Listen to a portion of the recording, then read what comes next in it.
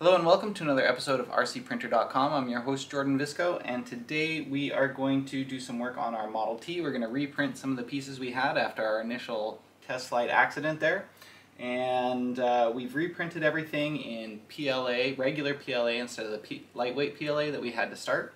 And also PETG. So all these pieces here are printed in PLA and all these ones, uh, all the wing pieces are printed in PETG. So I thought I'd make just a quick little video here to show you some of the tips and tricks I learned after building it the first time and also to show you some of the quality differences between the lightweight PLA that we originally printed in and the regular materials PLA and PETG that we reprinted in. So we'll compare the print quality as well as the weights so you get a good idea of what uh, you're getting into if you decide to make one of these for yourself. So to start here, just to see some of the imperfections that we had on the lightweight PLA, I'll show you some close-ups of how the original print looked. So you can see right here there was a bit of an overhang and it didn't print out super nicely there and I think that caused my wing not to attach 100% correctly. You can see on the bottom of the fuselage here you get some lines where there's uh, different pieces connecting.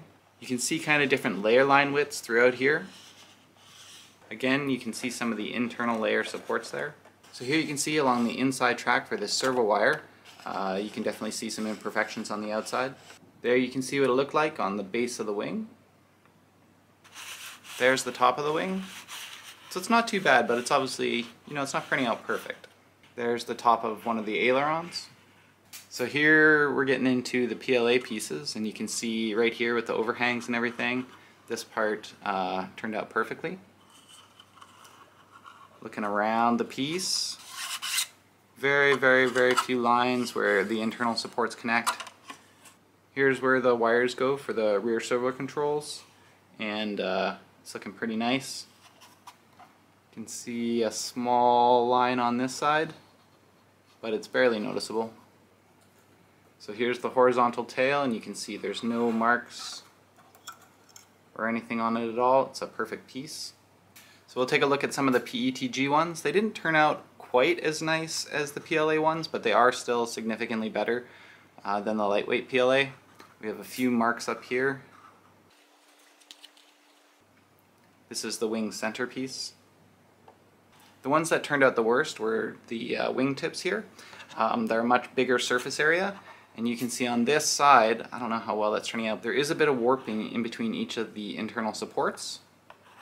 So some of them are bowed in and a, a couple of them are bowed out. So I'm not sure if that's going to affect the flight too much, but that's not perfect and we might end up reprinting these wings in a different material. These pieces, however, did turn out quite well. Much less warping. And I think that's mostly because there's more support on the inside. Tiny little bit of warping on these wing pieces. Maybe a little bit right there. But it's not too bad. Alright, step one, we're going to remove all the brims and then we'll start gluing together. Removing the brim with PLA can be a little harder than lightweight PLA, but what I recommend is that you just bend it over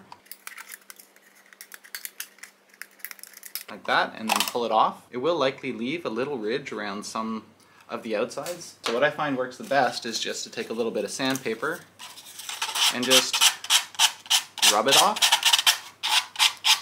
just like that. And then you don't have to worry about taking off too much material. Quite easy to do.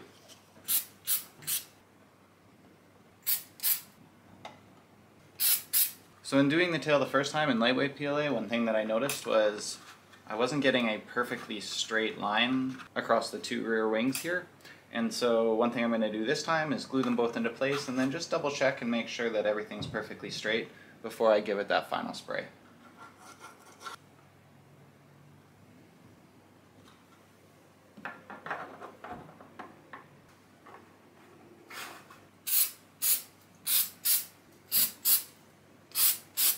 So one really important thing to do here is when you attach your tail to your fuselage, make sure that it's aligned perfectly because there is some wiggle room.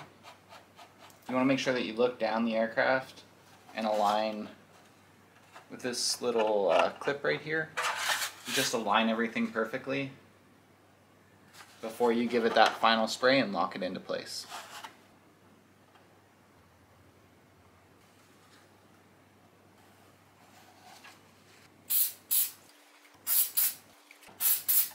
Now we're on to the wing. Alright, so we got all the brims off the PETG wing pieces, and I do have to say, getting the brims off PETG is a much more difficult than the PLA, but it does come off, it just takes a little bit more effort. In working with these PETG pieces, I can definitely tell they're much more flexible than the PLA ones. Um, and I did find a couple of spots where um, they didn't print out perfectly, so you can see just on the trailing edge of these wings here, uh, there's a little bit under extrusion. I think in the print settings they have a setting for extra prime amount and I think um, changing that would have maybe fixed this a little bit, but that's something to watch out for on your prints. That was the worst one, but you can see on this one here too, I got a little bit on the other side. So one issue I had last time as well, this is the centerpiece of the wing and this is the piece that goes right beside it on the left. And there's these little tabs you have to glue in. If you glue them here and then you spray the activator on, and then after spraying the activator on, you go to glue the two pieces together. The activator that's already on there mixes with um, this CA glue, and it starts to dry before you can actually put them together. So I ended up having a little bit of a gap in between those, and that's not ideal. So I would recommend using something like this, a really quick setting CA glue that doesn't need an activator, just to glue these little tabs on so that you're not going to end up spraying the activator all over the place. Or if you don't have that, just put those on and then don't use the activator and leave it for five or ten minutes and they should harden up a bit and then you can glue the two pieces together and spray the activator after. So just something to think about as you're building the plane is you don't want to be spraying activator all over pieces that you're going to glue in just a minute because uh, that activator can hang around for a little while and it can make your glue set up before you want it to.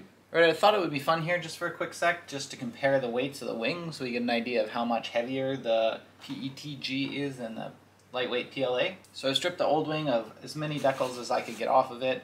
There's still a couple little pieces of paper on it, but it's going to be pretty much the stock weight of a lightweight PLA wing. So this wing is 117 grams, and the PETG wing is 233 grams, so it's almost twice as heavy. So that's actually a pretty crazy weight difference, and I might end up actually just reprinting a wing again in this lightweight PLA if I'm having trouble getting it up off the ground. One thing to note about these steering rod connectors is that it is definitely advisable to put them on before you put the hinges. Uh, otherwise, it's very hard to attach those tiny little, I think they're M2 or M2.5 uh, nuts underneath. So definitely do that in advance. This one's not so bad, but this one was a real pain. Another thing to note is you can see here on my PLA pieces, the joints are looking pretty clean, Whereas here on the PETG wing, there's a yellow residue that seems to be showing up, and it looks like it's due to the CA activator. Um, and it's around all of the joints, and it's pretty wide, which makes me think it's uh, the activator causing that, but it's just kind of an oddity. If the motor that you've chosen for your Model T doesn't quite stick out far enough out of the nose, you can print one of these little shims here that allows the motor to extend just a bit. And there you go with the little shim in it, it's extending just about perfectly. It's a good idea to put some Velcro down the inside so you can attach things like your ESC, your battery, and your receiver. But I find mine didn't stick that great the first time, so a little bit of CA glue will help that stay down permanently. Okay, so I'm pretty happy with how this is turning out, but I'm just about to go and install the ailerons here. And you can see these actually have the worst warping of everything. And I think it's because there's no structural support inside them, so it just gives a much greater opportunity for warping there, but you can see here it's quite warped.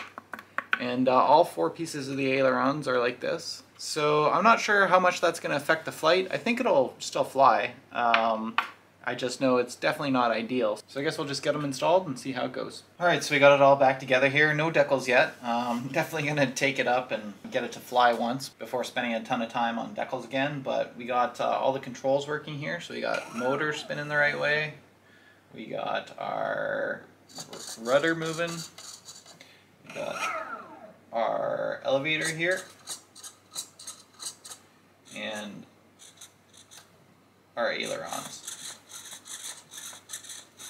So everything's good to go. I would say first impressions here, it definitely feels a lot more sturdy than it did last time. I can tell if I just give it like a little bump, it's not going to just disintegrate like it did with the lightweight PLA. It's for sure heavier, so we're going to give it a quick weigh here in a sec and just compare the two. And hopefully we can get it off the ground. So I did bust both the props that originally came with the kit that I purchased, so I've gone ahead and ordered some new ones off Amazon. Originally this kit came with a 9 by 4.5 pitch uh, propeller, but the Eclipson website said the best for this model would be an 8 by 6 pitch propeller, so uh, that's what I've installed here. But otherwise, I'm just going to finish putting her together, check the servo throws, make sure we're getting the right amount of movement uh, on all our servos, and we'll go ahead and bring it out to an airfield and see if we can get her in the sky. Okay, so we'll get a final ready to fly weight here. Previously with the lightweight PLA, our ready to fly weight was about 600 grams, and now we're at 700 and 790. So it's definitely a, a bit heavier, but it's not insane. I was expecting more than that actually. The electronics and uh, metal bits are what make up a large portion of that, so that's why we're not seeing such a drastic increase here. So yeah, it's about a third heavier, or 31.6%. Uh, Let's also quickly check the center of gravity here. So there's some little marks under the wings. These little crosses right here, so if you can feel underneath for those, that's where the plane should balance. So we're obviously quite tail heavy right now. See if we can rearrange some of the electronics inside and get it uh, get it balanced properly. Alright, so instead of a 2S LiPo battery, I've now installed a 3S LiPo. And uh, you can see it's balancing much better.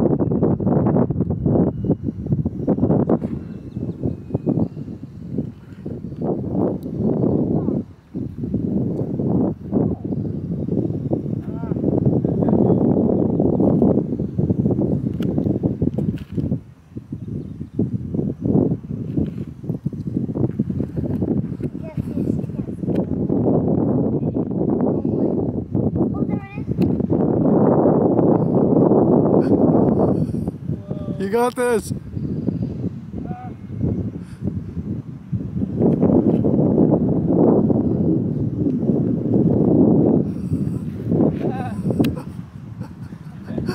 There you go.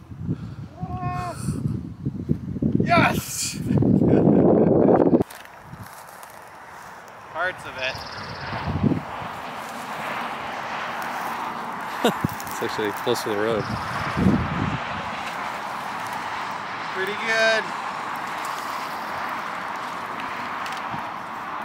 The knot's totally gone. Alright, so here's the damage. Uh, you can see the fuselage didn't actually do too bad. The only damage is right up front on the nose, so I got a new one of those uh, reprinting right now. And then the wing itself split in half. There's damage on both ends of the wing as well. So you can see there and a little bit of damage on the end of this wing here. So I think I'm going to end up just reprinting the whole wing and uh, one piece of the fuselage and we're good to go. So in reprinting, I'm actually going to reprint everything here in PLA. I just didn't really like how the PETG uh, warped the wings, so I'm just going to reprint that all in PLA. One of the things I really like about printing in PLA versus printing in lightweight PLA is I can print multiple sections together. So I've set these two printers up here with uh, pretty much the entire wing of the Eclipson Model T, and they'll be ready to go tomorrow morning. And then down here I got one of my Ender 3s, and we got that front part of the fuselage done, so between you know, these guys and that one, we should have everything we need to go tomorrow morning. Alright, so another thing I went out and did today was to buy a trainer plane. Obviously my Eclipson Model T build is uh, capable of flying. I'm just, unfortunately, incapable of properly flying it. Uh, so I need to learn, so I bought one of these trainer guys. So we'll get out there with that again tomorrow. And then learn how to properly fly the plane, and then once we get comfortable, we can switch over to our 3D printed guy. Alright, so it's the next morning, and there's our new 3D printed wing.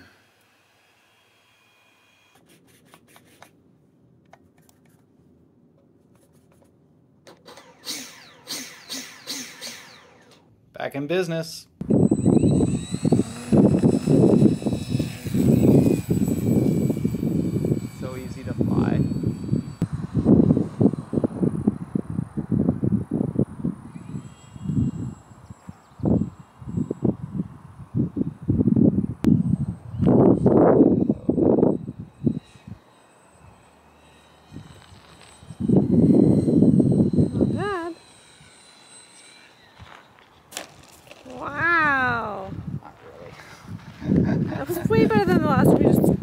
Into a mountain. Yeah. Throttle up.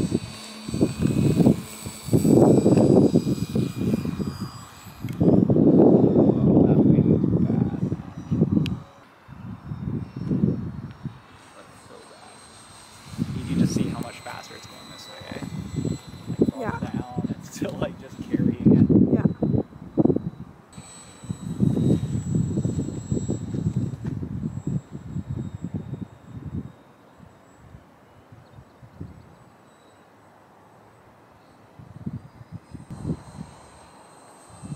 It's nice flying when it's just so easy like this.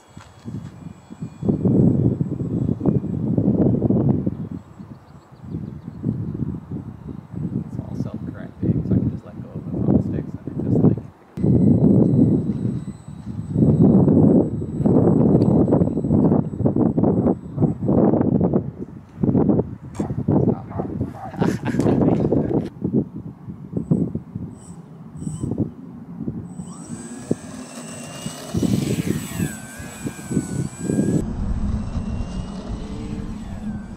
It just wants to go left, eh? There we go.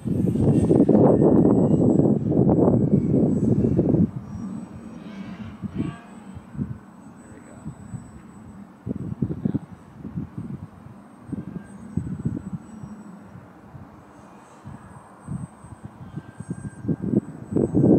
is the longest we've ever been up, so that's positive, right? hmm Oh man, that wind.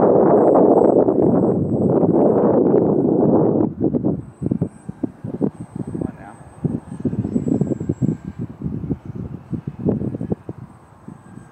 Get down, get down. Down with the wind, you got this. Whoa! Roll! Holy macaroni. No, don't start doing those now.